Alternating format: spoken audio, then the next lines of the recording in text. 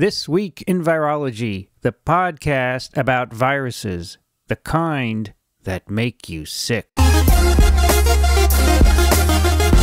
From Microbe TV, this is TWIV, This Week in Virology, episode 928, recorded on August 18th, 2022. I'm Vincent Racaniello, and you're listening to the podcast all about viruses. Joining me today from New York, Daniel Griffin. Hello, everyone. But but Vincent, I'm I'm not in New York. I'm actually in uh, Glasgow. I'm in. Uh, Uh, yeah, yeah. yeah, I'm in Christina's. I'm such a creature of habit that I always say New York. But yes, from Glasgow, Daniel Griffin. yeah. Nice to see you, Daniel. No, no, it's. Uh, I, I had to come down here because apparently the internet in Edinburgh is not as quick as I would like. So, um, and I'll start off with a very uh, Scottish quotation from David Hume uh, from his An Inquiry Concerning Human Understanding.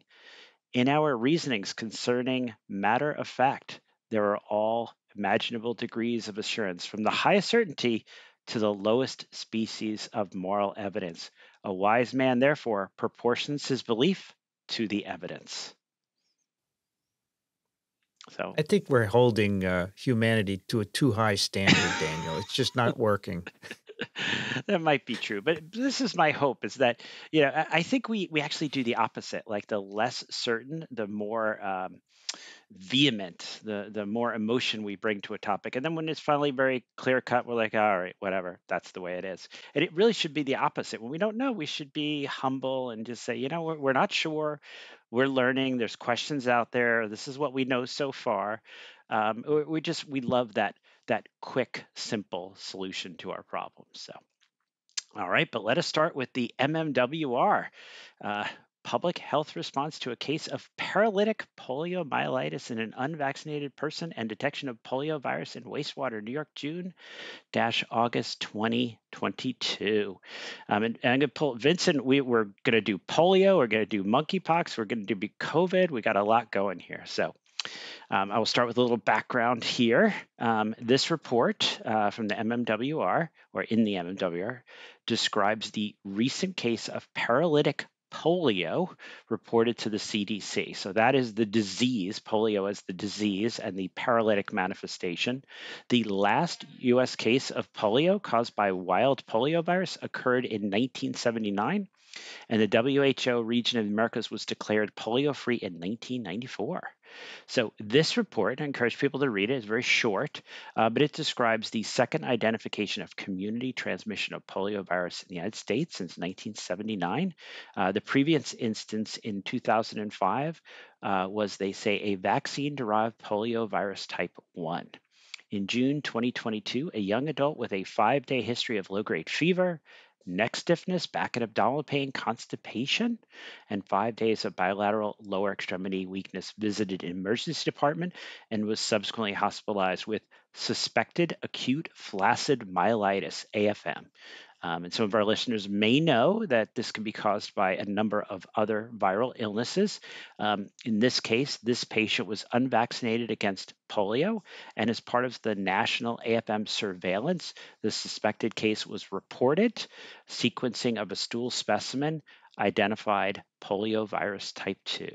And I'm going to say this is where it gets interesting if it wasn't interesting enough.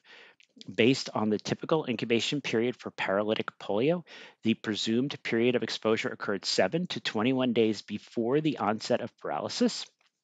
Epidemiological investigation revealed that the patient attended a large gathering um, just eight days before symptom onset, had not traveled internationally during the presumed exposure period. Um, and this is something I want to point out. Um, and I think this is a fact that many, there are many experts all of a sudden, um, but these experts seem to miss um, is that the rate of paralysis for type 2 is different than for type 1 polio.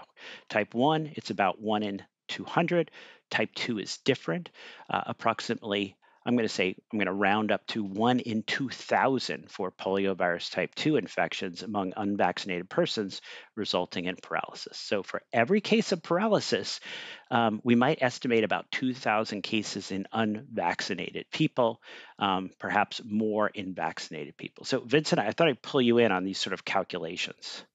Yeah, so the type 2 is is quite different from type 1 and 3 and the the problem here is that in the US we use inactivated polio vaccine and our intestines are not resistant to infection by any circulating polio virus. So if you're vaccinated, you're not going to contract polio, but the virus can reproduce in you. And that's why it's in the wastewater in this particular area. It's most likely in wastewater in many other parts of the US. And so you need to be vaccinated.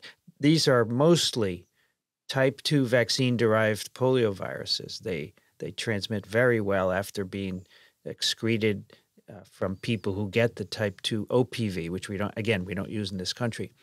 And you know, this community has very low polio vaccination rates for unfathomable reasons. And as a consequence, uh, th- th- we have a case of polio. And I would not be surprised if we saw more cases in the coming weeks. Yeah. And I think that's, uh, you know, we, we complained about COVID 19 and SARS CoV 2 and why two different things. But I think here you see the confusion. Is it polio virus? Is it polio infection? Is it polio disease?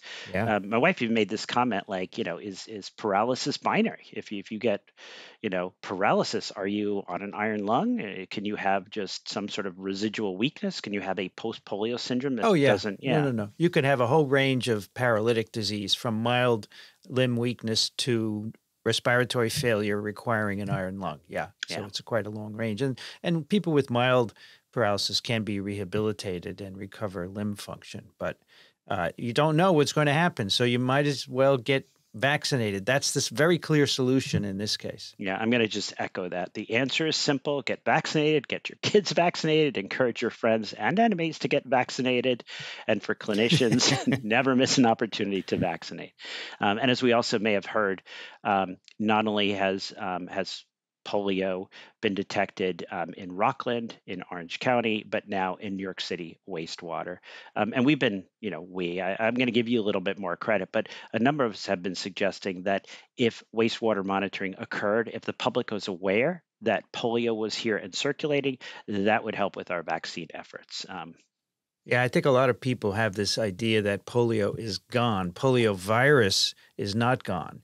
In the US, we up until now we didn't have paralytic disease, so the disease polio was gone. But the virus will continue to circulate because in most parts of the world they are using OPV, oral polio vaccine, which is shed.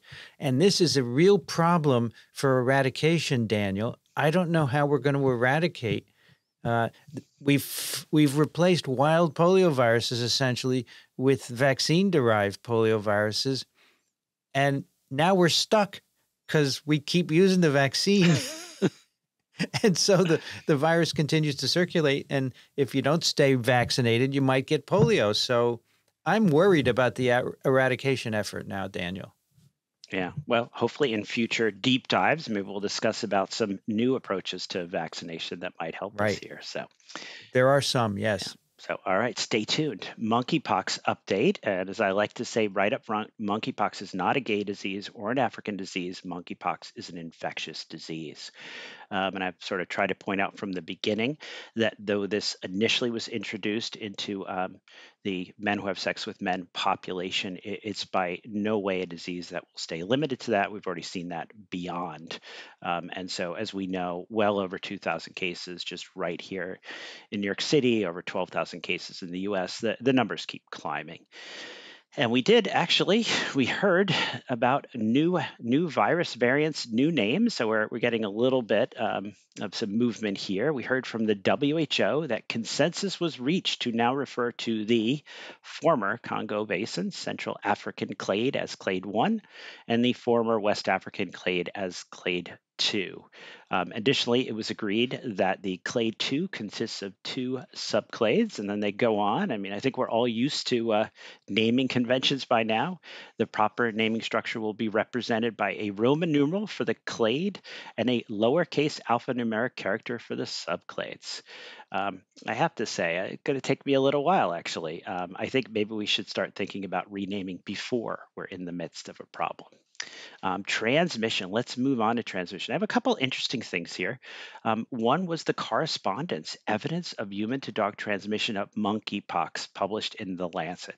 Now, people know for me this hits close to home. I kept seeing, you know, these these tweets and these pictures of uh, of our current president hanging out with his dog Commander while he had the COVID. And, you know, think about your pets. Well, here we hear of two men from Paris, France, who owned an Italian greyhound, and the and the, these two men were diagnosed with the monkeypox. Um, one man referred to as patient one, uh, Latino, aged 44, living with HIV with undetectable viral loads on antiretrovirals. Uh, the second man, patient two, white, uh, non Hispanic, age 27 years, HIV negative. In patient one, virus was detected in the sk- skin and oral pharynx samples, whereas in patient two, virus was detected in anal and oral pharyngeal samples. Um, 12 days after symptom onsets for the first individual, uh, symptom onset was very similar for these two men. Their male Italian greyhound, aged four years and with no previous medical disorders, presented with mucocutaneous lesions including abdominal pustules and a thin anal ulceration. The dog tested positive for monkeypox virus by PCR. Um, the monkeypox virus DNA sequences from the dog and patient one were compared by next generation sequencing, and the virus that infected patient one and the virus that infected the dog showed 100% sequence, sequence homology.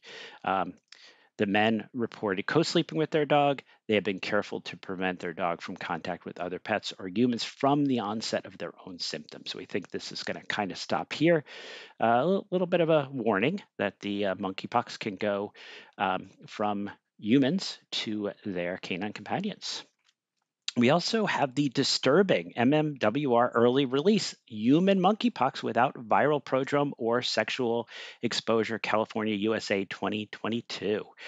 Now, this this made me think of uh, Rich Condon on the last TWIV, suggesting if we only change behavior, it would all be better. Well, I'm not sure how optimistic I am after uh, this and um, some very similar cases that I have seen um, so far myself but this is another case where there was no obvious exposure, no obvious um, behavior that we had previously thought was associated. So, this is a man in his 20s. He sought care at an emergency department in Stanford, California, USA, on day seven of an asynchronous, that's important, diffuse vesicular rash. So, these were not all in the same stages of development, but in different stages of development after he had traveled to the United Kingdom I hope he wasn't up here in Scotland.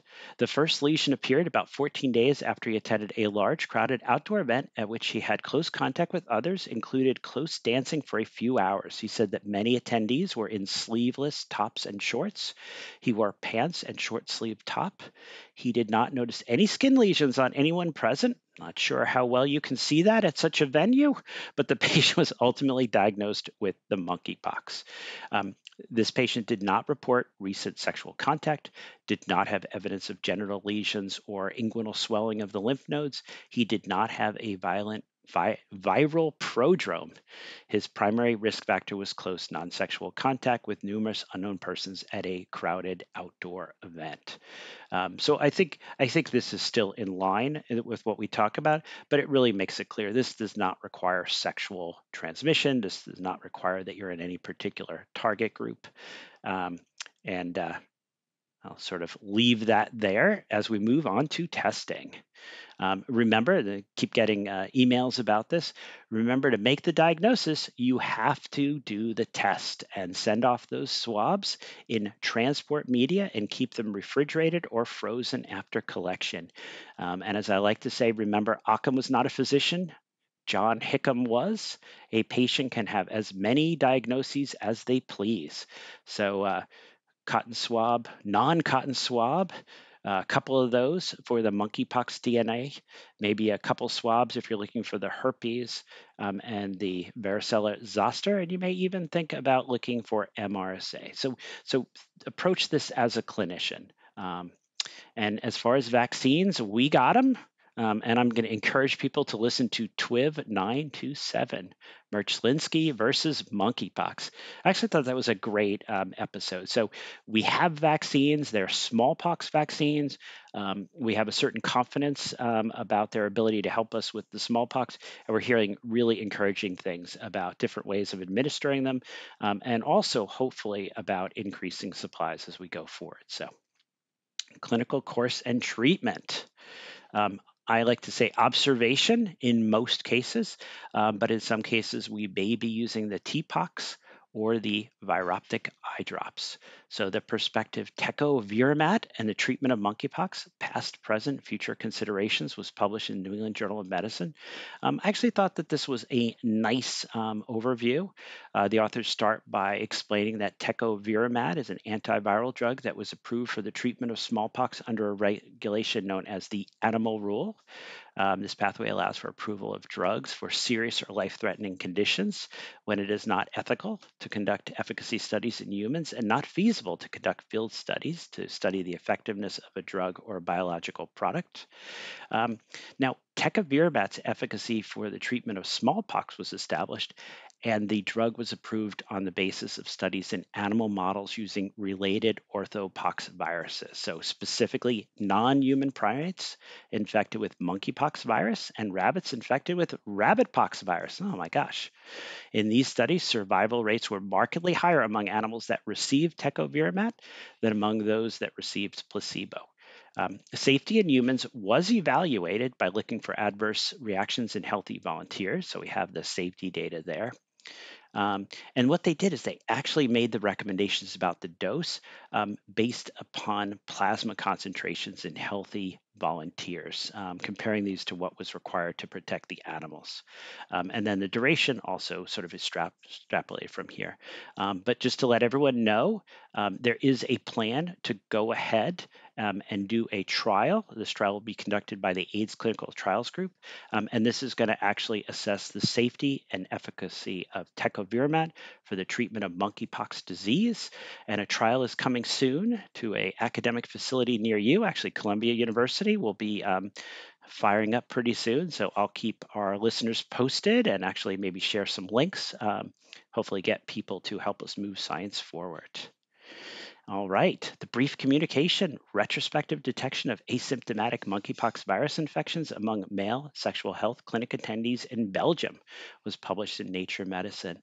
Now, here the authors point out that we do not know, that's okay in science, there are things we do not know but want to learn, but we do not know whether asymptomatic or otherwise undiagnosed infections are fueling this current spread of the monkeypox, right?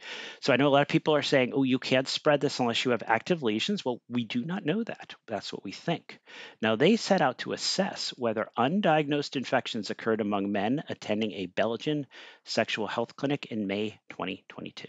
They retrospectively screened over 200 samples that have been collected for gonorrhea and chlamydia testing using a monkeypox virus PCR assay, and they identified the monkeypox DNA from four of the men. At the time of sampling, one man did have a painful rash, so perhaps that was uh, the monkeypox, but three men reported no symptoms. Uh, they followed these folks out, and upon clinical exam 21 to 37 days later, these three men were free of clinical signs and they reported not having experienced any symptoms.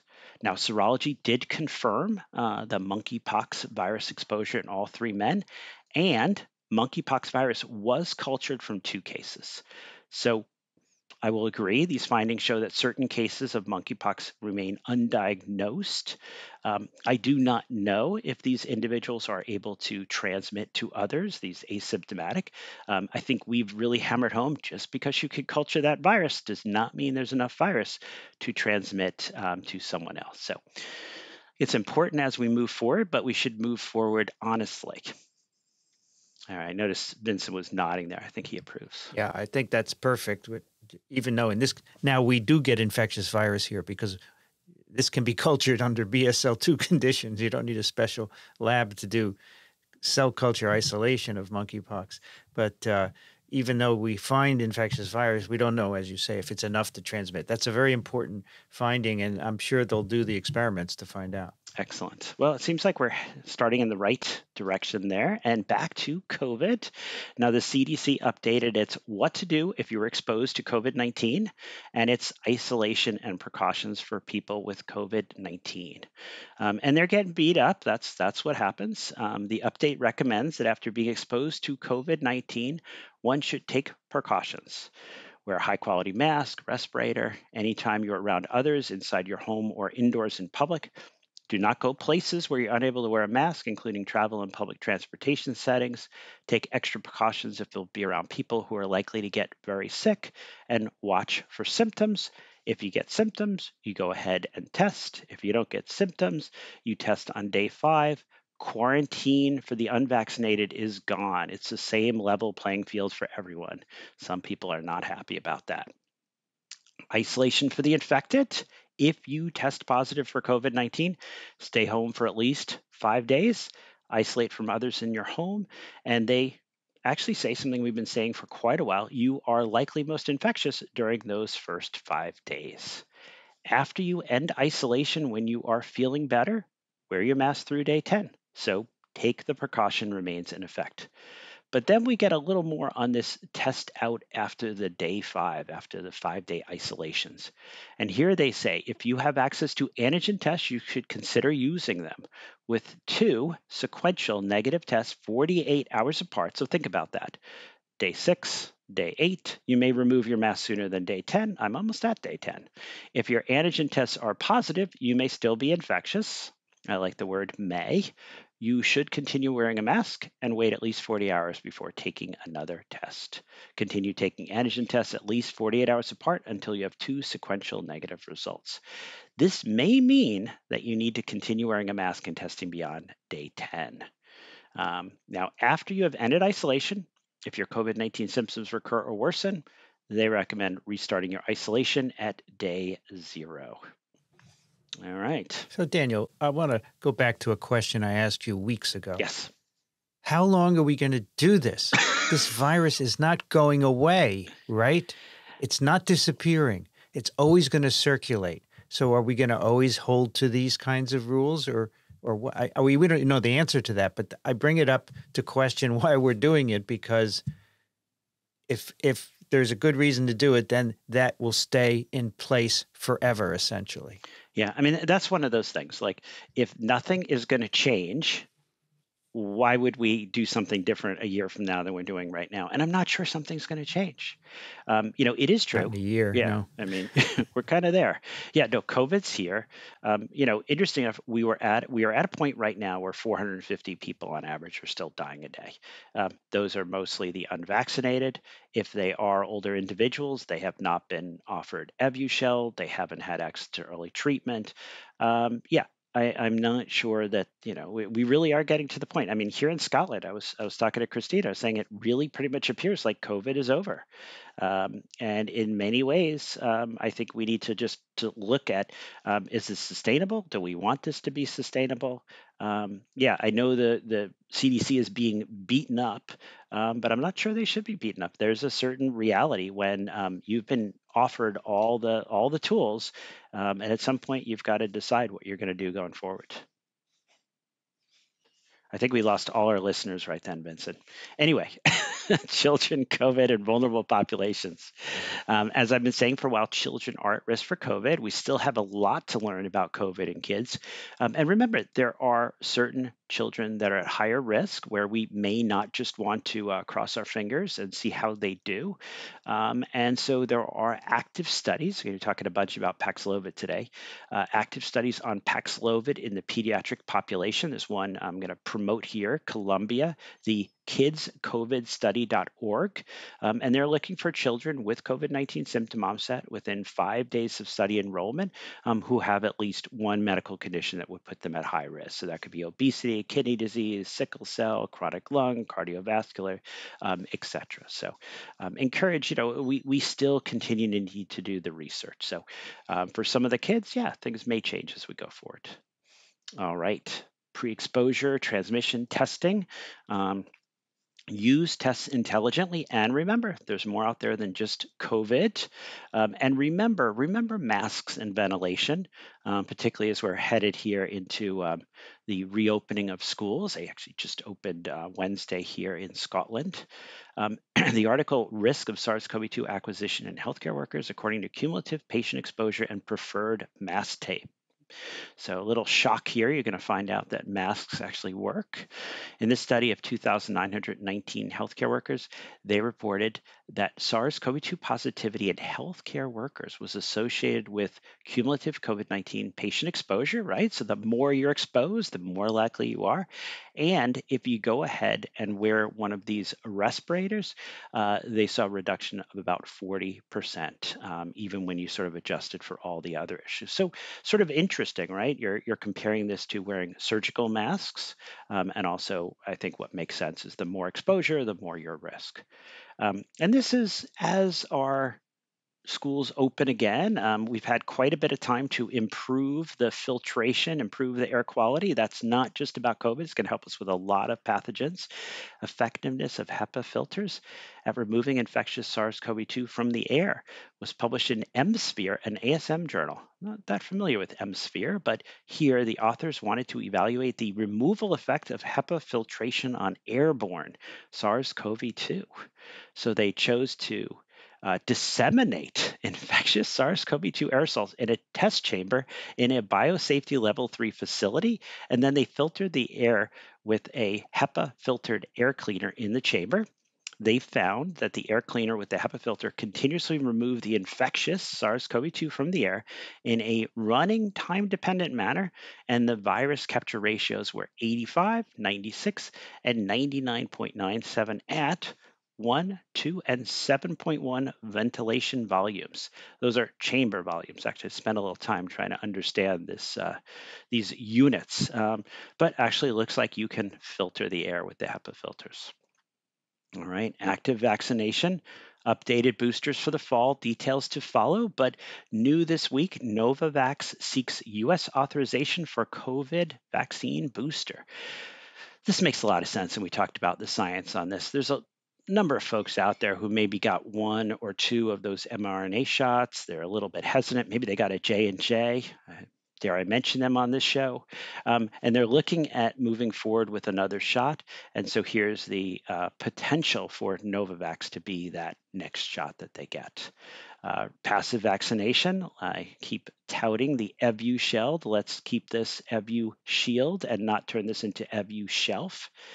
Um, and now I'm going to move into what I promised the early viral upper respiratory non hypoxic phase. So, this is that first week. You've been diagnosed. We say number one is Paxlovid, but what about Paxlovid if you've been vaccinated. Does that work? So let me just mention a few of the um, bits of information we have. So I will start with the Pfizer reports additional data on Paxlovid supporting upcoming new drug application submission to US FDA. And here we get the report of a subgroup analysis from Pfizer of a non significant 57% reduction. See, non significant 57% reduction in hospitalizations and death observed in Paxlovid treated vaccinated patients with at least one risk factor for severe COVID 19. So, not particularly overwhelming start. Um, now, we did discuss the MMWR, hospitalization and emergency department encounters for COVID 19 after Paxlovid treatment, California, December 2021 May 2022.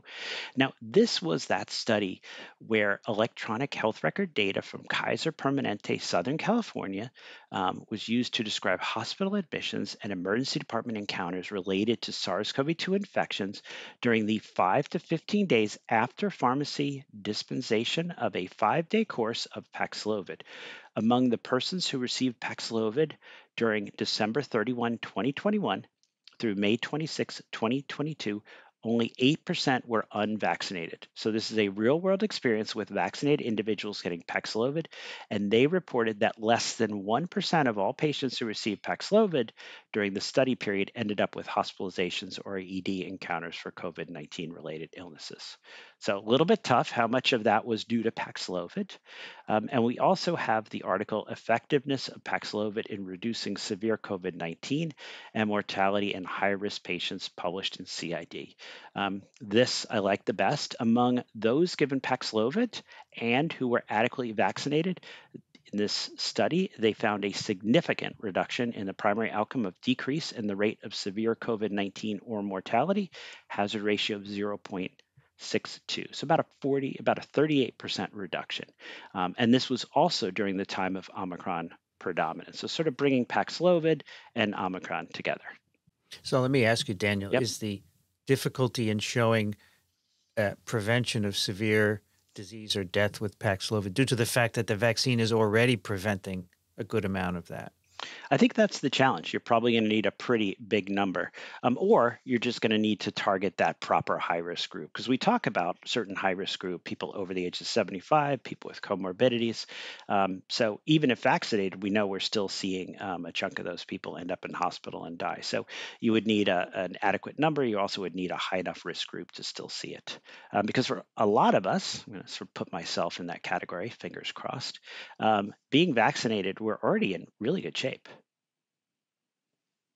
All right, after Paxlovid, we have remdesivir, we have monoclonals, uh, now just bebtelovimab, and molnupiravir.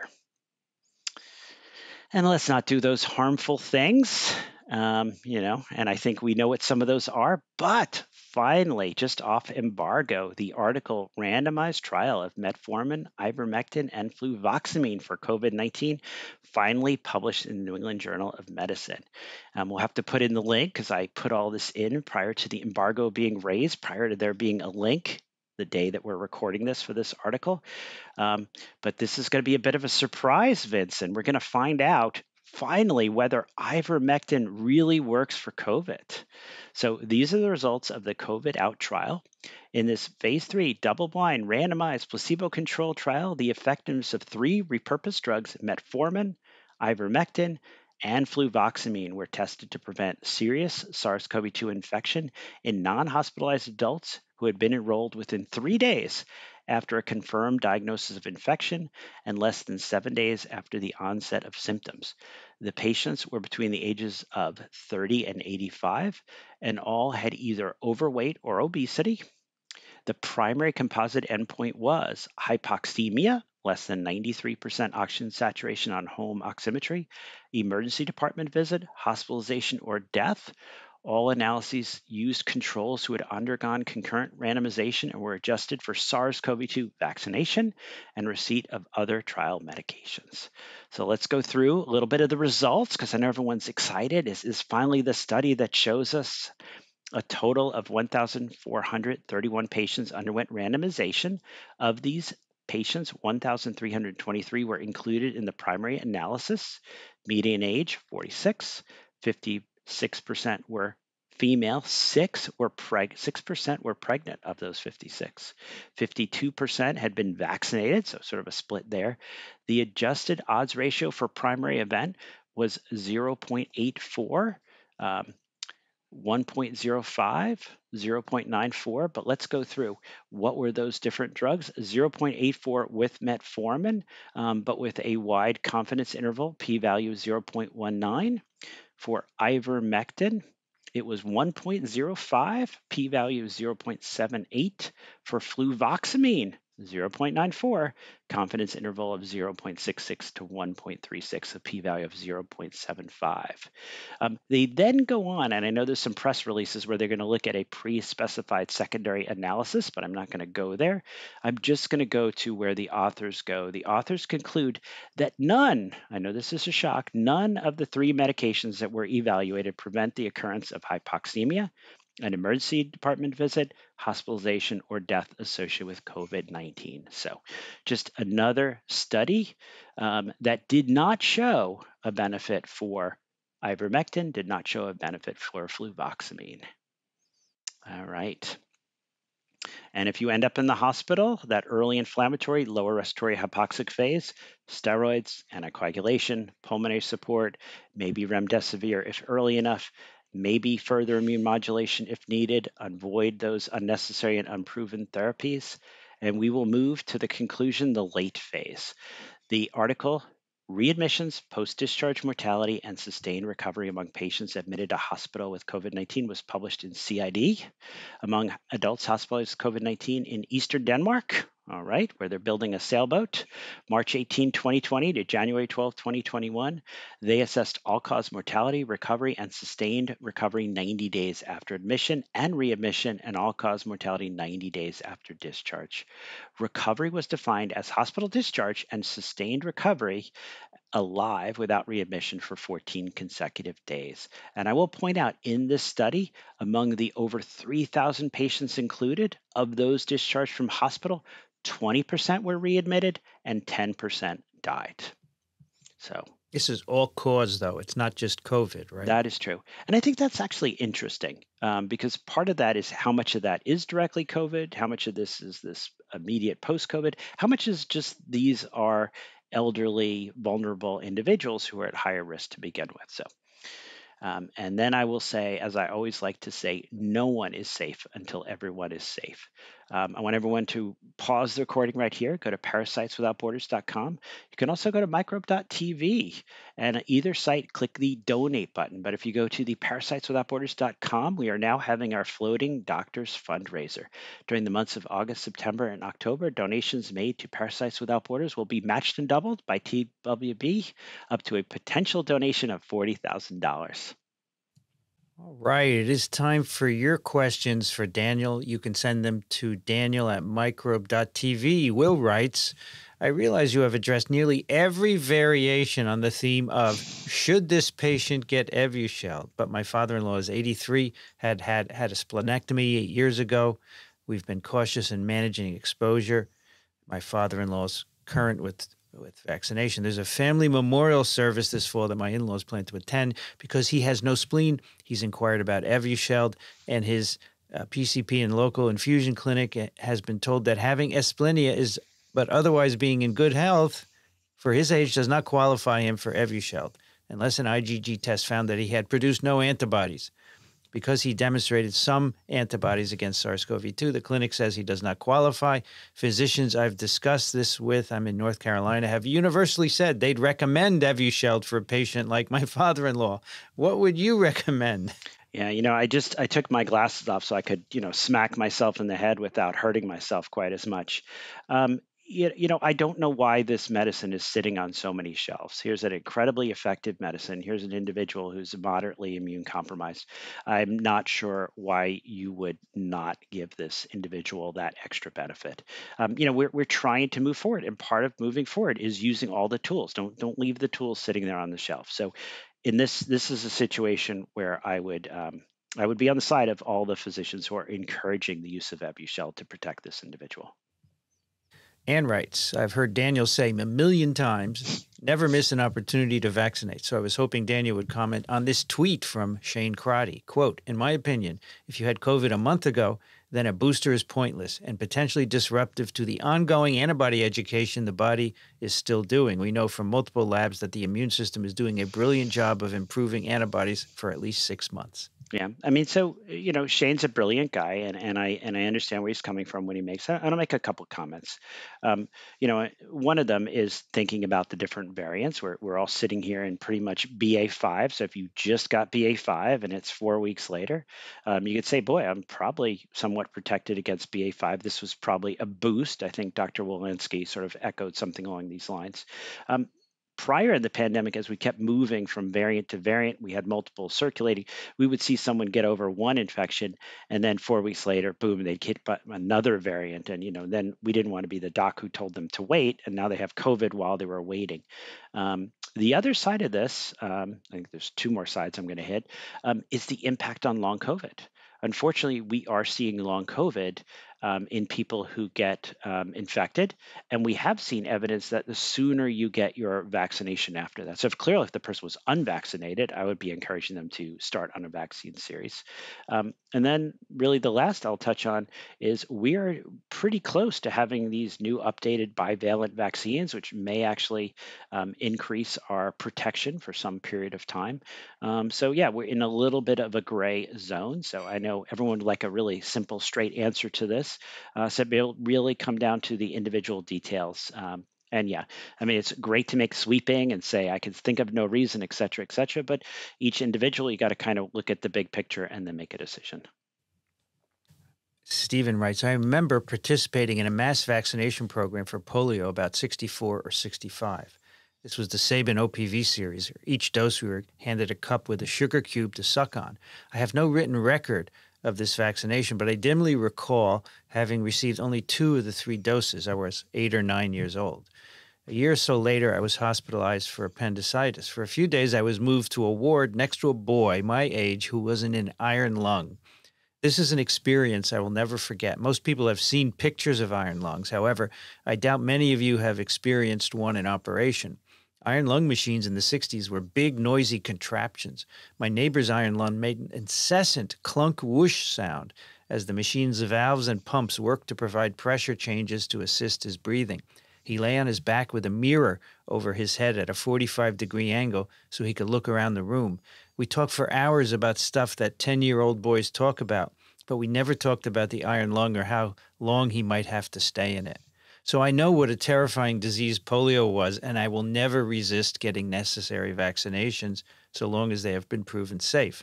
I'm 66 now, and here's my question Do I need an IPV shot?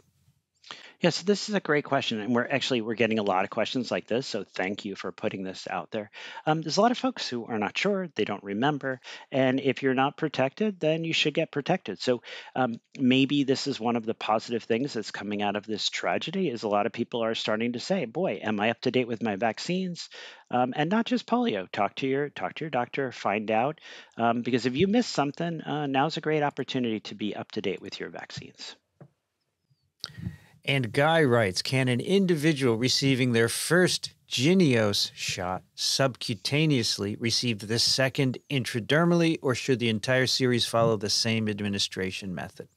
Now we have clear guidance on this, which is great. So if you got your first one um, one way, you can go ahead. If you got subcutaneous that first time, you can go ahead and get intradermal for the second one. So no problems, and that's currently what's being recommended. That's TWIV clinical update number 128. Dr. Daniel Griffin. Thank you, Daniel. Oh, thank you. And everyone, be safe.